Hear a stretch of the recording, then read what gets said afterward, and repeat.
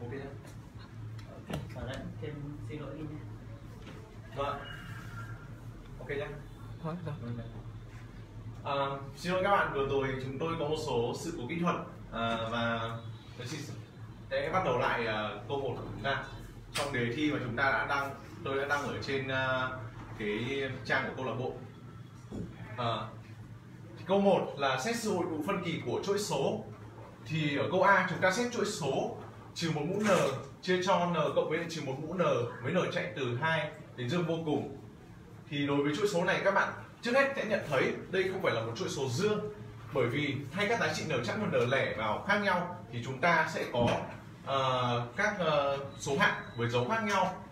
Đồng thời thì chúng ta cũng có thể để ý là đây là một chuỗi số đan dấu nếu mà ta thay các giá trị n vào và một số bạn sẽ nghĩ đến việc sử dụng tiêu chuẩn Leibniz vốn là một tiêu chuẩn được uh, sử dụng uh, phổ biến cho chuỗi số đan dấu trong các bài làm bài làm.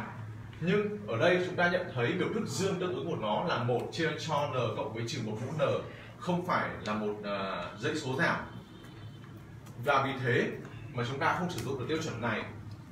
Trước hết uh, chúng ta sẽ phải biến đổi cái uh, chuỗi số này đã thì để biến đổi chữ số này các bạn để ý ở dưới mẫu chúng ta có một biểu thức khá phức tạp là n cộng với trừ một mũ n. Để khử biểu thức này đi chúng ta nghĩ đến việc sử dụng à, uh, thằng đẳng thức. Và chúng ta sẽ nhân thêm với lại biểu thức n trừ đi âm một mũ n. Việc nhân thêm n trừ đi âm một mũ n sẽ giúp cho việc uh, sẽ giúp bình phương các số hạng và khử đi cái trừ một mũ n. Sau khi nhân trừ một uh, n nhân trừ một mũ n cho cả tử và mẫu rút gọn, chúng ta còn trừ một mũ n nhân với n. Trừ đi, trừ một mũ 2 n. Và nó sẽ bằng một. Ở dưới mẫu, nhân lên chúng ta có n bình phương. Trừ đi, trừ một mũ 2 n, tức là trừ đi một. Và đến biểu thức này, chúng ta sẽ tách ra làm hai chuỗi. Chuỗi thứ nhất của chúng ta là trừ một mũ n nhân n chia cho n bình phương trừ một. Chuỗi thứ hai là một chia cho n bình phương trừ một. Với n chạy từ hai đến dương vô cùng. Và để xét sự hội tụ phân kỳ của chuỗi này chúng ta sẽ xét sự hội tụ phân kỳ của cả hai chuỗi này. Trước hết chúng ta xét sự hội tụ phân kỳ của chuỗi số trừ một mũ n nhân n chia cho n bình phương trừ một. Các bạn có thể nhận thấy đây là một chuỗi số đa dấu với dấu hiệu là trừ một mũ n ở đây. Và thêm vào đó nữa cái biểu thức dương tương ứng là n chia cho n bình phương trừ một nó sẽ là một uh, dãy số giảm khi n đủ lớn. Và để cho chứng minh cụ thể việc này ta sẽ đặt cái hàm fx bằng cái biểu thức tương ứng là x chia cho x bình phương trừ một, với x thuộc biệt giá trị x lớn bằng 2 để chứng minh nó giảm thì ta sẽ lấy đạo hàm f phẩy x. Đạo hàm f phẩy x sẽ tính bằng đạo hàm tử nhân với mẫu, tức là x bình phương trừ một chia trừ đi đạo hàm mẫu là 2x nhân với tử số, chúng ta có 2x bình phương. Và x bình phương trừ 1 trừ 2x bình phương, ở dưới mẫu chúng ta có x bình phương trừ 1 tất cả bình phương. Trên tử số x bình phương trừ 1 trừ 2x bình phương là trừ x bình phương trừ 1 và nó sẽ âm. Ở dưới mẫu chúng ta có một biểu thức dương. Vậy thì cả cái đạo hàm này nó sẽ âm với mọi x lớn bằng 2 do đó, chúng ta có dãy số tương dương tương ứng là n chia cho n bình phương trừ 1 là dãy số dương và giảm.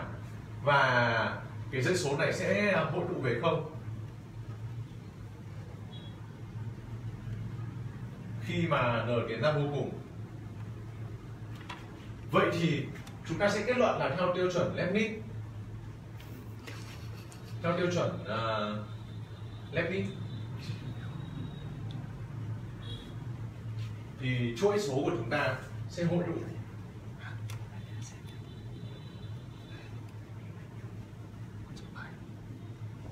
đó. Bạn nào còn không nhớ tiêu chuẩn Leibniz các bạn có thể xem lại sách giáo khoa và một số dạng bài tập uh, ví dụ tương ứng trong sách ở đây chúng ta đã có biểu thức. À, này chuỗi này là hội tụ.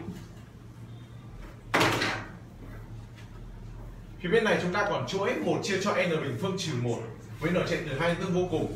Chuỗi này là một chuỗi khá dễ nhìn các bạn có thể uh, thấy nó tương đương với lại uh, một uh, cái biểu thức này uh, số hạng nó tương đương với lại một chia cho n bình phương.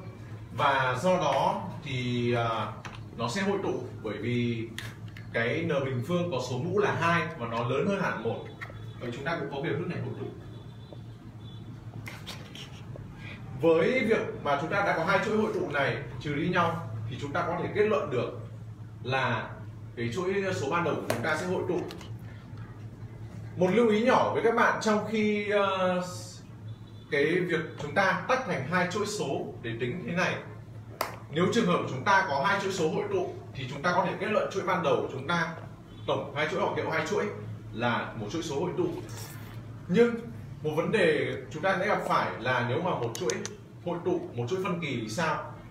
Thì khi đó thì chúng ta sẽ có biểu thức uh, chuỗi số ban đầu sẽ là chuỗi số phân kỳ. Một trường hợp khó hơn là trường hợp mà cả hai chuỗi số này chúng ta khi mà đã tách ra nó đều phân kỳ thì khi đó chúng ta không thể kết luận được và nó không không phải là tổng, nó luôn là không kỳ đâu ạ. Chúng ta cần lưu ý vấn đề đó. Vậy thì chúng ta xong ờ, câu đầu tiên là câu 1A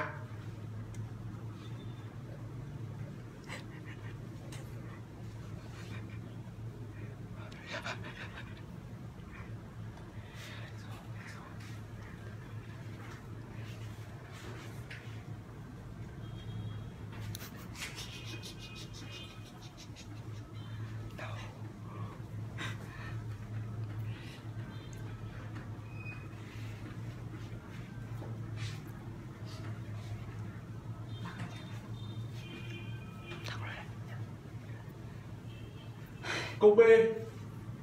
Chúng ta sẽ xét chuỗi số n bằng 1 chạy từ 1 đến dương vô cùng của biểu thức 1 chia cho căn n. Nhân với logan EP của 1 cộng với lại à, uh, 1 phần n. Ok. Vậy thì uh, trước hết các bạn sẽ nhận thấy uh, chúng ta sẽ phân loại chuỗi số này trước.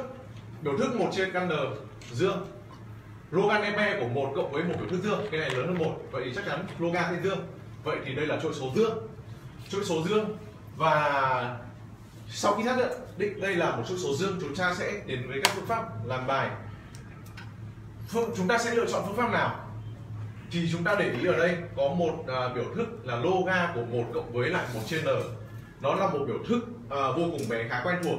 Các bạn thấy khi n đến ra vô cùng thì một trên n cũng sẽ đến tới không? Và loga của một cộng x khi x tiến tới không nó sẽ tương đương với biểu thức x. Vậy chúng ta nhận thấy một chia căn n nhân loga của một cộng một trên n. Hơi hơi thôi. Biểu thức này sẽ tương đương với một chia cho căn n nhân với biểu thức tương đương của cái này là một phần n tức là một chia cho n căn n và nó sẽ bằng một chia cho n mũ 3 phần 2 mặt khác, chúng ta cũng có chuỗi số n chạy từ 1 đến dương vô cùng của 1 chia cho n mũ 3 phần 2 là chuỗi số hội tụ.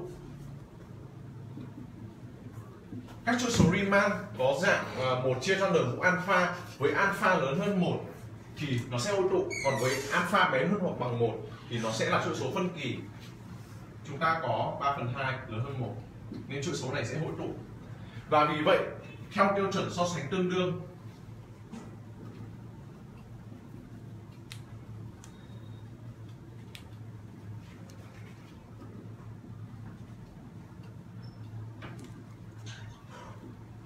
thì chuỗi ban đầu cũng sẽ hội tụ.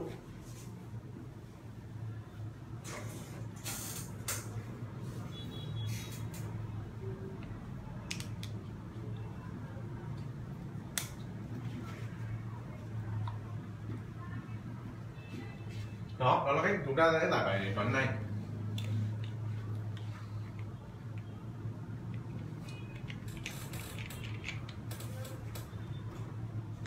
Chúng ta sẽ đến với uh, câu tiếp theo câu C.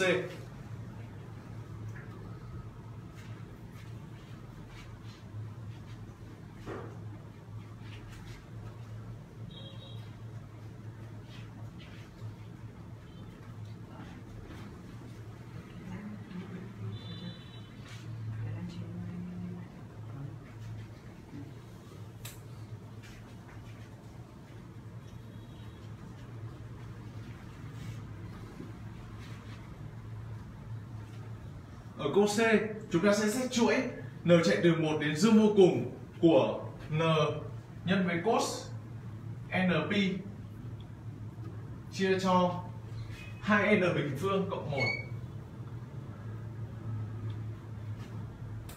rồi, trước hết chúng ta nhận xét đây có phải chuỗi số dương không ạ? N chia cho hai n bình phương cộng một. Ồ, đoạn này tương rõ rồi.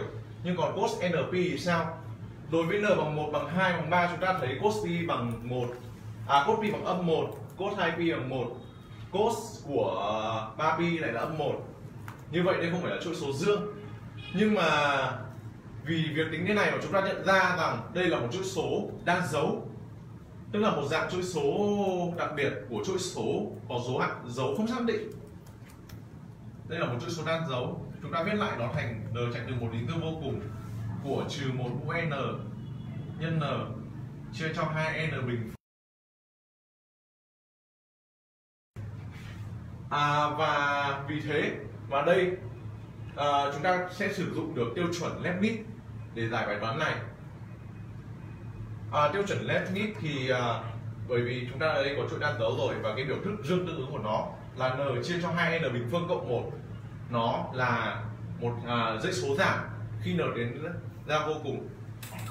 Và chúng ta sẽ để làm chặt chẽ chúng ta sẽ hàng fx bằng x chia cho 2x bình phương cộng 1 với x lớn hơn hoặc bằng 1 để uh, chứng minh nó giảm chúng ta sẽ xét f phẩy x. Nó sẽ bằng đạo hàm tử nhân với mẫu 2x bình phương cộng 1 trừ đi đạo hàm mẫu là 4x nhân tử là 4x bình phương.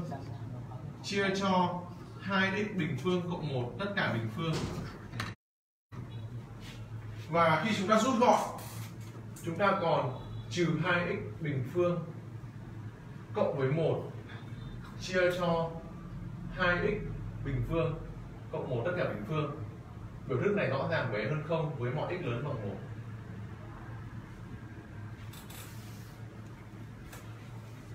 từ đó chúng ta uh, suy ra được là dãy số của chúng ta là dãy n chia cho 2n bình phương cộng 1 là một dãy số dương giảm. Và nó sẽ tiến tới không khi mà n tiến ra vô cùng. Và do vậy, do đó, chúng ta kết luận được cái chuỗi ban đầu của chúng ta là n chạy từ 1 đến n vô cùng của, n cos np chia cho 2n bình phương cộng 1 hay là chuỗi số này cũng được. Để hội tụ. Và chúng ta dựa vào cái tiêu chuẩn Leibniz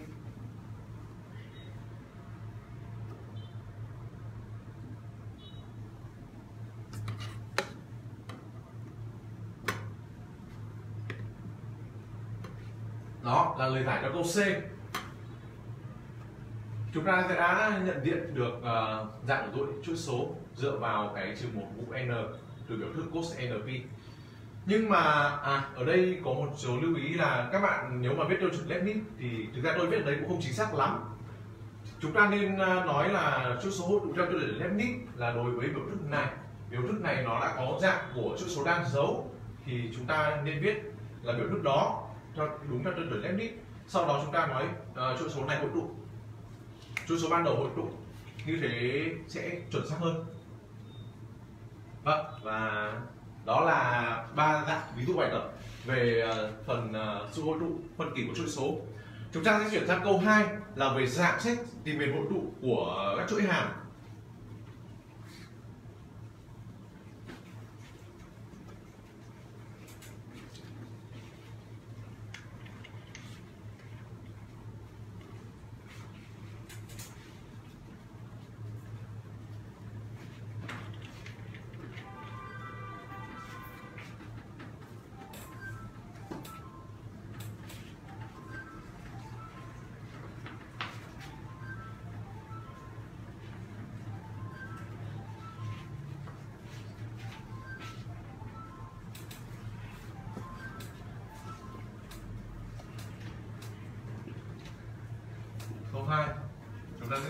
bài tìm liền hội trụ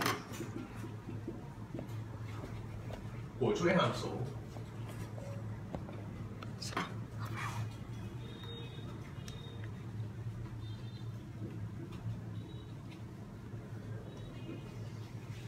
Thì dạng bài tìm biến hội tụ của chuỗi hàm số. Trước khi đi vào bài tập tôi xin nói qua một chút. Chuỗi hàm số thì uh, trong các dạng đề thi sẽ thường rơi, thường sẽ có một câu liên quan đến chuỗi lũy thừa. Thì dạng bài đó thì nó sẽ rất là dễ làm. Nếu mà dạng bài mà nó liên quan đến à, chuỗi lũy thừa ấy. Hoặc là mà chuỗi biến đổi, hoặc là biến đổi được về dạng lũy thừa. Rút ra cầm lại anh ạ rút cái này này cái xác của chị thì nó hơi bị lỏng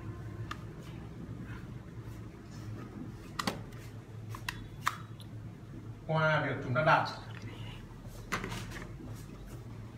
thì dạng bài này rất đơn giản là chúng ta sẽ tìm được ờ, bán kính hội tụ.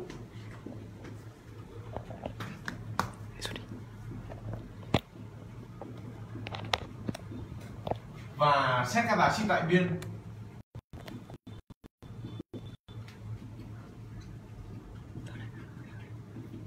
thằng ơi không sao đâu từ đó chúng ta sẽ tìm ra được viền hội tụ. Và nếu mà chúng ta đã đặt để đưa nó về uh, chuỗi số lũy thừa thì chúng ta sẽ uh, đưa ngược lại nó. Uh, tức là từ cái phần đặt đấy chúng ta sẽ suy ra uh, miền hội tụ theo cái biến ban đầu.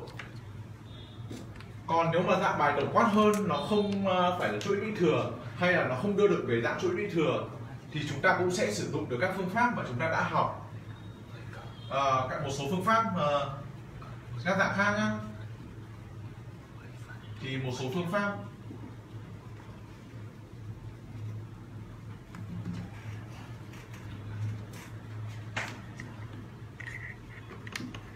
Một số phương pháp chúng ta có thể dùng. Thứ nhất là tiêu chuẩn Dalame hoặc là tiêu chuẩn Cauchy. Nó vẫn áp dụng được các bạn. Và biểu thức của chúng ta khi mà áp dụng tiêu chuẩn Dalambe và Cauchy tức là lấy lim của an cộng 1 chia an hoặc là lim của căn bậc n của an biểu thức của chúng ta sẽ có uh, dạng là biểu thức của x và chúng ta cũng sẽ chia miền. Với ờ, nếu mà biểu thức đó có kết quả lớn hơn một thì nó sẽ hội tụ à nó sẽ phân kỳ. Và nếu biểu thức có kết quả bé hơn một nó sẽ hội tụ. Thì uh, chúng ta sẽ xét uh, x tại các giá trị mà biểu thức uh, lim uh, theo tiêu chuẩn Dallapé của Cauchy nó bằng một. Lúc đó thay x vào chúng ta sẽ có được chuỗi số và chúng ta sẽ sử dụng các uh, phương pháp đánh giá sự hội tụ phân kỳ đối với chuỗi số để chúng ta làm bài tập. Một phương pháp khác của chúng ta uh, mà có thể chúng ta phải sử dụng đó là chia miền. Chia miền giá trị. Đối với một số giá trị x nào đó thì sự uh, gọi là biến đổi gọi là sự uh, hành vi của các uh, chuỗi số khi mà nó tiến ra n tiến ra vô cùng nó sẽ khác nhau. Ví dụ như là đối với lại n mũ alpha chẳng hạn. À n mũ x chẳng hạn. Nếu mà x dương ok nó sẽ tiến ra vô cùng. Nhưng mà với x âm thì sao? Nó tiến đến không. Khi nó tiến ra vô cùng đó là lý do mà chúng ta sẽ cần phải chia miền giá trị ra. Và đối với mỗi miền giá trị thì chúng ta sẽ có các cách uh, uh, xét sự hội tụ và phân kỳ tương ứng. Và chúng ta có thể sử dụng các tiêu chuẩn làm ở trước như ờ, Dalame Cauchy và ngoài ra thì chúng ta còn có thể uh, từ từ cái việc chia miền giá trị này có thể đơn giản hóa được bài toán bởi vì là khi mà trên miền giá trị thì chúng ta có thể coi x, nó là một số thay vì là một biểu thức chữ x. Thì khi đó, chúng ta sẽ đánh giá theo kiểu chuỗi số thôi. Đấy là các phương pháp giải, các dạng bài tập về tìm miền hội tụ của chuỗi hàm số. Và sau đây chúng ta sẽ đến với các bài tập cụ thể ở trong đề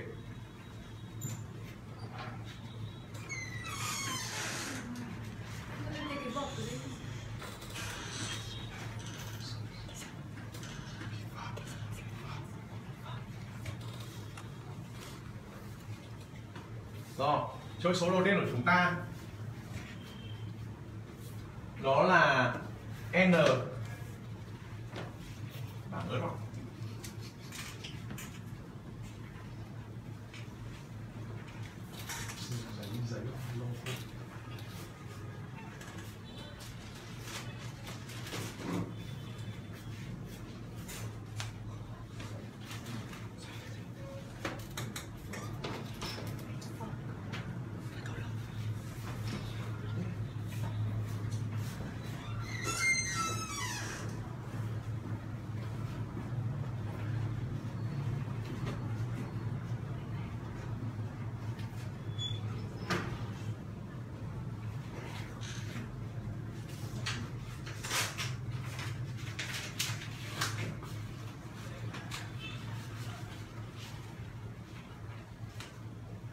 Rồi chúng ta sẽ xét uh, cho chuỗi hàm số n chạy từ 1 đến dương vô cùng của n mũ 3 với x bình phương. Cho các bạn cái bảng rất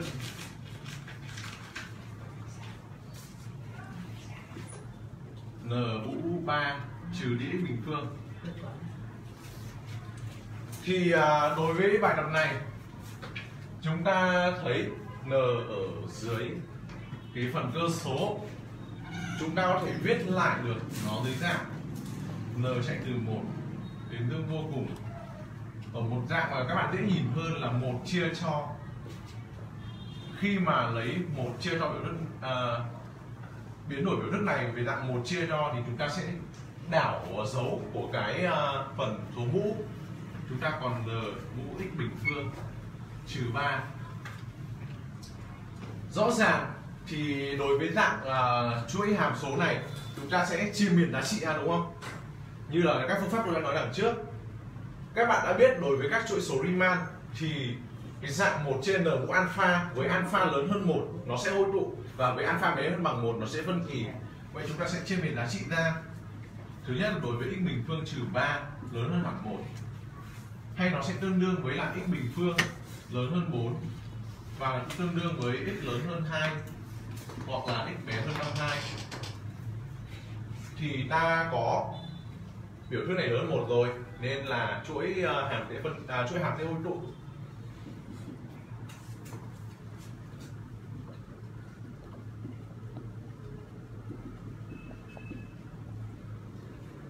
Còn đối với lại các giá trị còn lại tức là x bình phương trừ 3 bé hơn 1 nó sẽ tương đương với gì? X bình phương bé hơn 4 tương đương với uh, trừ 2 bé hơn x bé hơn 2 thì với x bé hơn bé hơn bằng 1 à xin lỗi các bạn. X bé bằng 1 thì đây số mũ bé hơn bằng 1 nó sẽ phân kỳ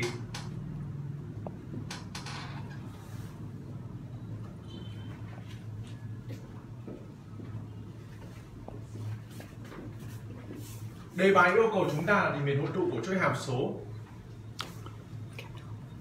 Đề bài yêu cầu chúng ta tìm miền hội tụ của chuỗi hàm số. Vì thế mà đây chúng ta có x uh, thuộc uh, miền này thì nó hội tụ, x thuộc uh, miền này nó sẽ phân kỳ. Chúng ta sẽ kết luận được là miền hội tụ. Miền hội tụ chúng ta thì gồm các giá trị x bé hơn âm 2 và x lớn hơn 2. Do vậy chúng ta sẽ ký hiệu là trừ vô cùng, trừ 2 khoảng này hợp với lại khoảng từ 2 đến dương vô cùng.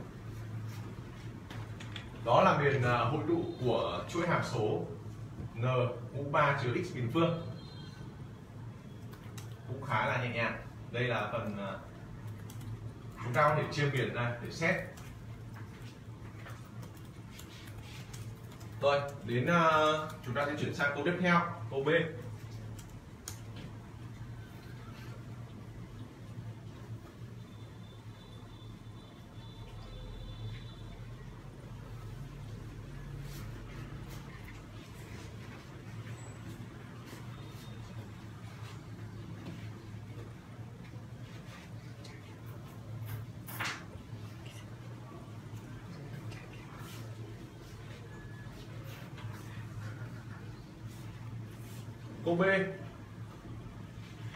ta sẽ rất tìm miền hội tụ của chuỗi hàm số n chạy từ 1 đến dương vô cùng của 2n cộng 1 chia cho n bình phương cộng 2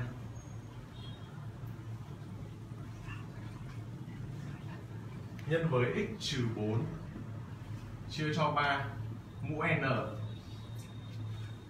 Quan sát dạng chuỗi hàm này chúng ta có thể thấy đây là một chuỗi hàm số có thể quy về được chuỗi lũy thừa. Chuỗi lũy thừa là gì ạ? Chuỗi lũy thừa là các chuỗi mà có dạng an mà nhân với lại x mũ n. Những cái dạng này gọi là chuỗi lũy thừa. Thì à, đối với chuỗi lũy thừa chúng ta có một cách giải là chúng ta đi tìm mà bán kính hội tụ đúng không? Tìm bán kính hội tụ r. Sau rồi chúng ta xét các giá trị à, tại biên. Thì ở bài này chúng tôi cũng sẽ làm tương tự. Nhưng mà trước hết chúng ta cần phải biến đổi ờ, cho nó về dạng chuỗi lũy thừa một cách ờ, chính xác đã.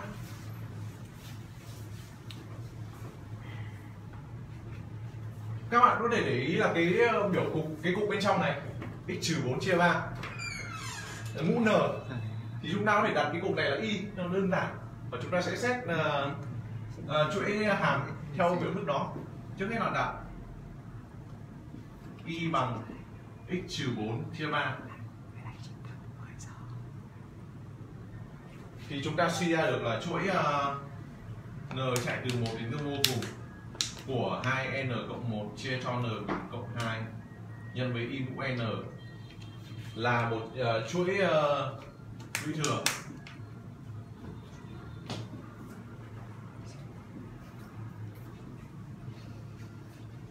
Và với việc đó là chuỗi đi thừa chúng ta sẽ xét bàn kính hội tụ.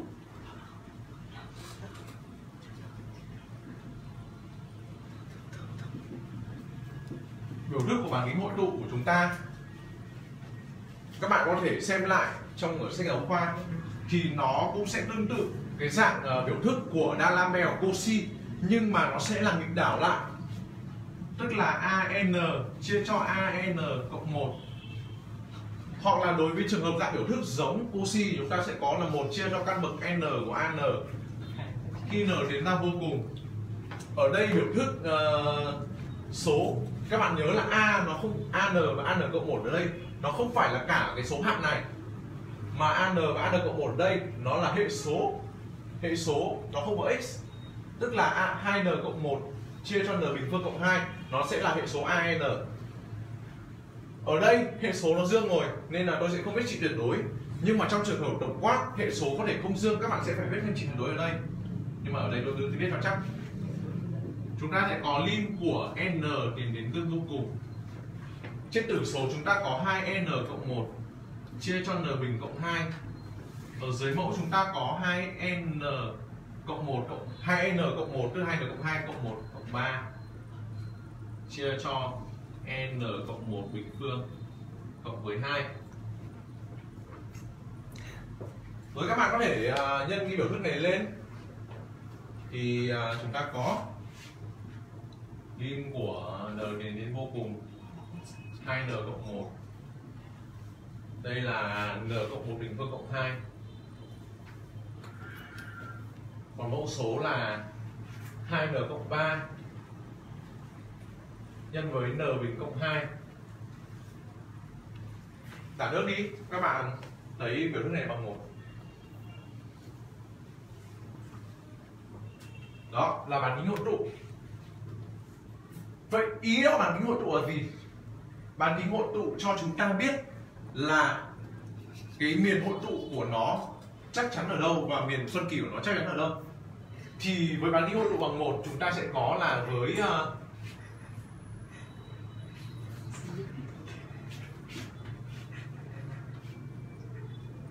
với um, các giá trị à, tuyệt đối. Với y thỏa mãn là y có giá trị tuyệt đối bé hơn một thì chuỗi sẽ hội tụ.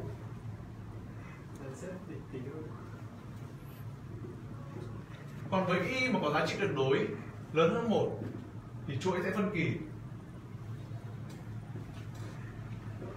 Đó là ý nghĩa của việc chúng ta xét đặt cái hội tụ vậy thì việc còn lại của chúng ta là xét cả giá trị biên. Giá trị biên ở đây là gì? Chúng ta có y trị đối y bé hơn một và trị đối y lớn hơn một. Còn trường hợp còn lại là trị đối y bằng một. Trị đối y bằng một, nó sẽ xảy ra ở hai trường hợp. Đó là y bằng một. Đối với y bằng một, chúng ta thay vào biểu thức này, chúng ta có chuỗi số trở thành.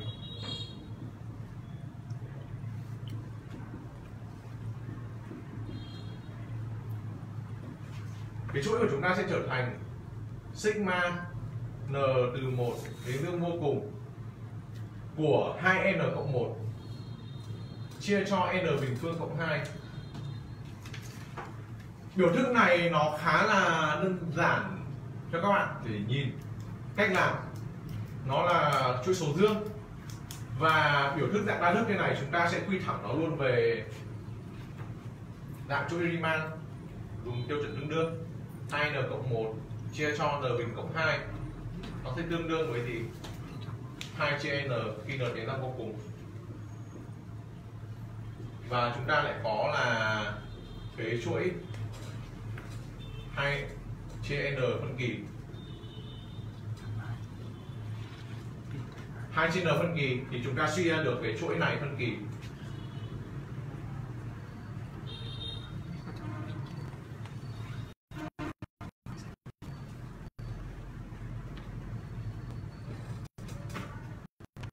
Đó. Còn một trường còn lại của chúng ta là y bằng trừ một. Y bằng trừ một thì ta sẽ có chuỗi trở thành gì? N chạy từ một đến dương vô cùng. Ở đây, chúng ta thay y bằng âm 1 vào biểu thức này, chúng ta sẽ có 2n cộng 1 chia cho n bình phương cộng 2 nhân với lại trừ 1 mũ n. Biểu thức này của chúng ta là một chuỗi số đan dấu bởi vì phần này của chúng ta dương và chúng ta có trừ một mũ n ở đây. Và các bạn có thể uh, chứng minh được nó là biểu thức hội tụ theo uh, tiêu chuẩn Leibniz. Vì cái chuỗi uh, vì cái dãy số ở đây. 2n cộng 1 chia cho n bình phương cộng 2 đó là dãy số giảm. Ok thế thì uh, mình sẽ chứng minh luôn các bạn nhưng mà xin phép các bạn xóa bảng.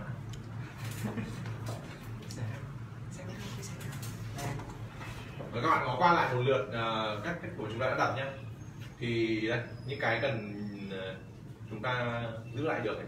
đây đây là cách đặt này. Miền hội tụ phân kỳ chỗ này phân kỳ ok thì xóa bên này.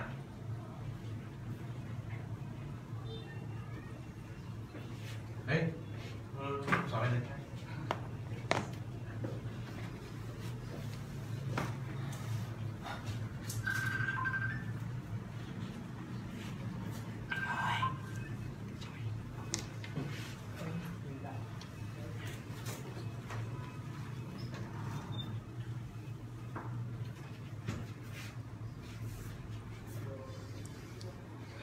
rồi chuỗi số chúng ta là như thế này.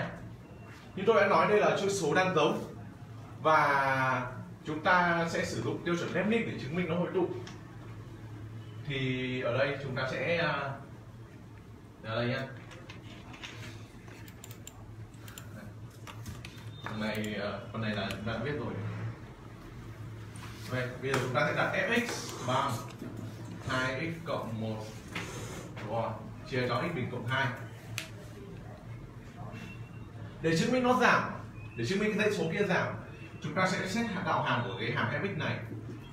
Đạo hàm tử nó sẽ bằng đạo hàm tử là hai nhân với biểu thức ở dưới mẫu là x bình cộng 2 chúng ta có 2x bình phương cộng 4 trừ đi đạo hàm mẫu là 2x nhân với tử là 2x nhân 2x à, cộng 1 tức là trừ đi 4x bình phương trừ 2x quả to nhỉ? Ừ. chia cho x bình phương cộng 2 bình phương. Biểu thức này của chúng ta à, với lại uh, x lớn đúng không? Mà ở đây x chạy từ 1 chạy từ 1 thì nó đã âm luôn rồi. À ừ chưa nhưng mà n bằng 2 vậy biểu thức này sẽ âm với x lớn hơn hoặc bằng 2 và vì thế mà chúng ta có dãy 2n cộng 1 chia cho n bình cộng 2 giảm dương này, giảm này. Và giảm về không, đúng không? Khi mà n đến vô cùng. Và từ đó chúng ta kết luận là cái chuỗi số của chúng ta sẽ hội tụ chuỗi này này bạn. Nó sẽ hội tụ theo ờ, tiêu chuẩn limit đúng không? Rồi. Vậy, kết luận. Miền hội tụ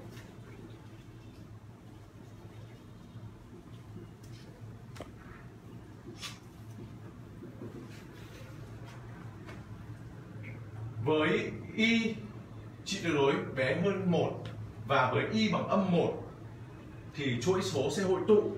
Còn lại y bằng 1 và chi tuyệt đối y lớn hơn 1 thì chuỗi số sẽ phân kỳ. Vậy nguyên hội tụ của chúng ta sẽ là trừ 1 bé hơn hoặc bằng y. Bé hơn 1 và chúng ta sẽ thay biểu thức ban đầu là x trừ 4 chia 3 vào để chúng ta tính ra kết quả. Vậy trừ 1 sẽ bé hơn bằng x trừ 4 chia 3 bé hơn 1 nhân 3 lên này, cộng 4 vào. Trừ 3 cộng 4 là 1 3 đây, cộng 4 vào là 1 sẽ bé hơn bằng x. Bé hơn 7 và đó là miền hội tụ của chuỗi hàm số. Đó là nửa khoảng từ 1 bao gồm 1 cho đến 7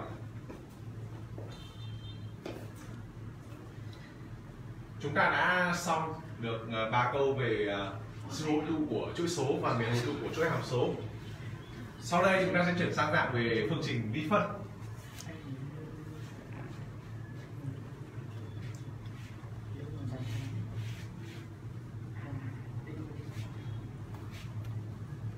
Yêu sao cùng đi.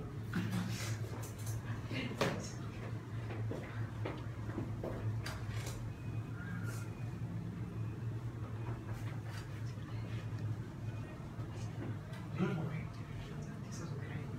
lau ướt xong rồi để một cái lau khô Ờ, thế nó sạch hơn thì được mình xóa bảng thì các bạn ờ, đi rót cốc nước rồi uống đi nhá.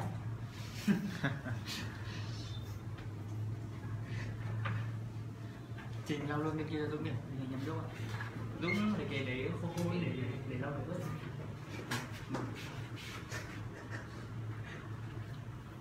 đấy. Livestream 6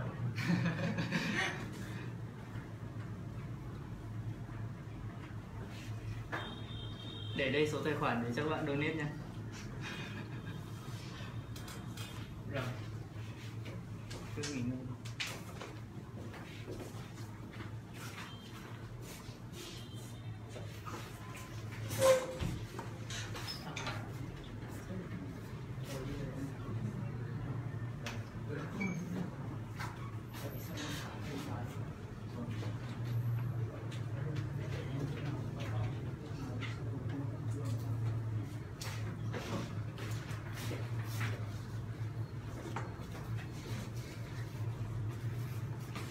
vâng thưa các bạn, chúng ta sẽ đến với phần bài tập tiếp theo là về các bạn phương trình vi phân. Câu ba là giải phương trình vi phân. Trước hết là nói tóm tắt lại các dạng phương trình vi phân các bạn đã học. Thì chúng ta có phương trình vi phân khuyết. Đây là chúng ta còn các quá trước khi mà đưa đi vào bài tập nhé. Chúng ta có phương trình vi phân khuyết. Đúng không? Đối với dạng phương trình vi phân mà bậc nhất thì chúng ta có dạng là y phẩy bằng à, fxy, đúng không? Nếu mà khuyết thì sao? Khuyết thì khuyết được cái gì?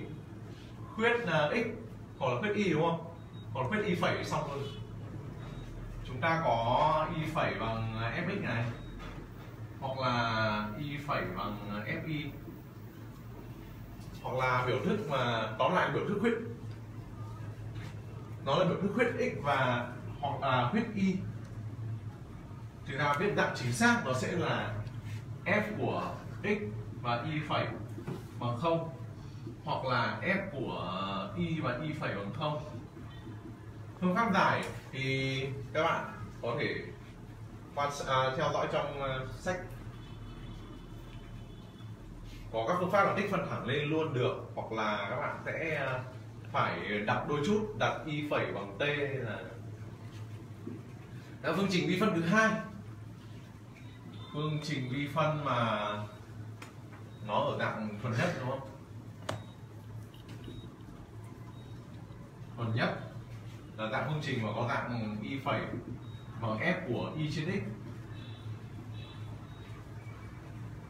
Với dạng à, à thôi thôi thôi chưa nói phần này chứ nói nói một phần đã đơn giản hơn. Là phân ly biến số chứ.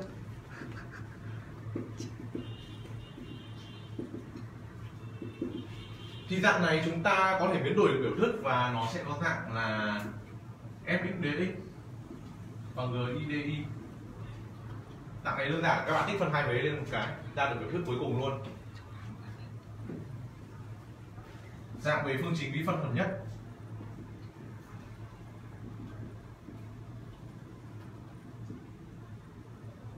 Hay còn gọi là phương trình vi phân đẳng cấp đẳng cấp là cái số mũ nó bằng nhau. Nó cũng chưa không có gì siêu đẳng cả y phẩy sẽ bằng f của y trên x. Nó sẽ dạng như này. Và để giải dạng này thì các bạn sẽ đặt uh,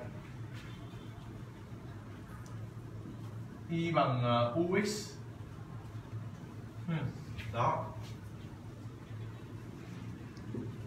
Các dạng phương trình uh, phim tiếp theo là phương trình vi phân tuyến tính.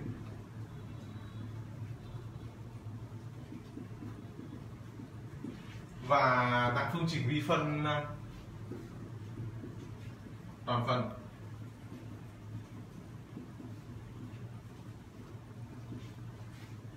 Đấy một số dạng là phương trình vi phân như thế. Ngoài ra thì có những dạng phương trình vi phân như là phương trình Bernoulli nó cũng quy được về dạng tuyến tính thì tuyến tính thì nó dạng là y phẩy bằng uh, y phẩy cộng với lại ờ, uh, px nhân y bằng ờ, uh, qx đúng không? Chúng ta có thể uh, sử dụng được trong bài thi. Tốt nhất là chúng ta nên sử dụng thẳng đúng công thức nghiệm. Công thức nghiệm của nó là y sẽ bằng là e mũ x phân của trừ px dx nhân với lại q nhân với tích phân. Qx e mũ tích phân px dx cộng với lại hàm số c. Các bạn sẽ cố gắng nhớ được công thức này thì làm bài thi về dạng phương trình viên tuyến tính rất là nhanh. Đây là e mũ trừ px bên trong tích phân này là e mũ px đây nhân qx ở đây và các bạn lưu ý là ờ, khi mà lấy tích phân này, các bạn chỉ cần lấy một nguyên hàm của nó thôi. Ví dụ ở đây biểu thức này là một trên x, các bạn chỉ cần lấy logaritm của x. Và các bạn không cần phải cộng c cộng c gì cả. Thì ở đây chúng ta đã cộng c rồi. Đấy, còn dạng phương trình vi phân toàn phần. Dạng phương trình vi phân toàn phần thì các bạn có biểu thức là pxy dx cộng qxy dy đúng không?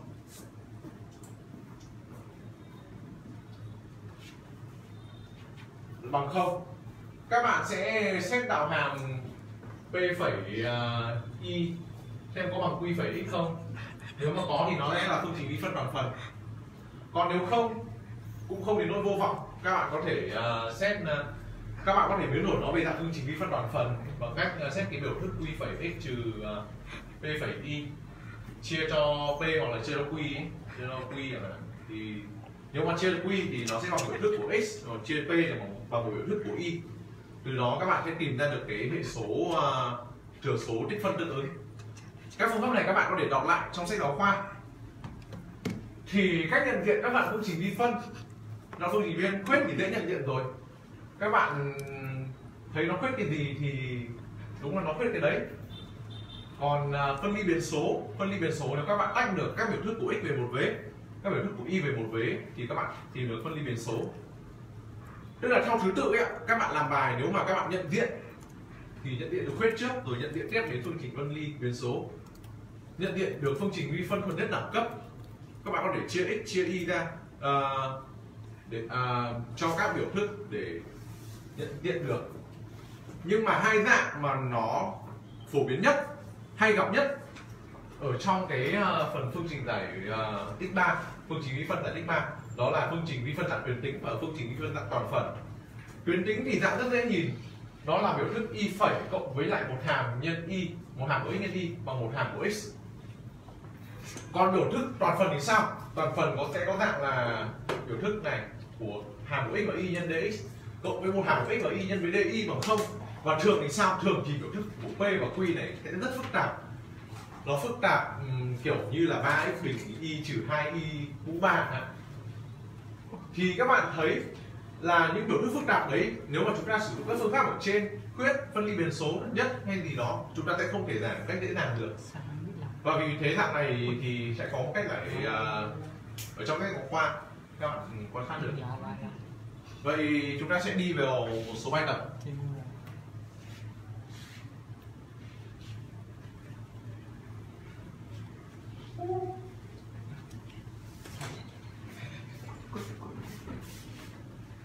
Ơi, cẩn thận, sói mất tiêu đề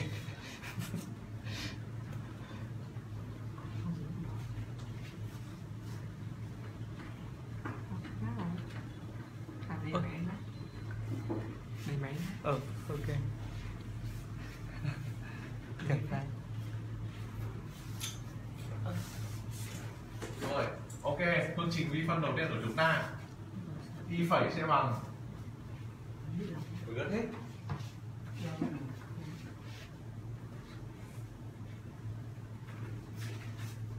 ok